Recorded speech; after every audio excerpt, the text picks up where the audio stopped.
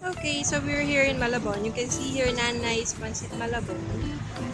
And when you cross the road, here you will see the Pichi Pichi store where you can get some Pichi Pichi. 10 peso, 10 pesos for some. And if you walk a few meters from here, just across this bridge, makita yung Polytechnic. You have to cross this bridge and you will see the Mesa de just across this bridge.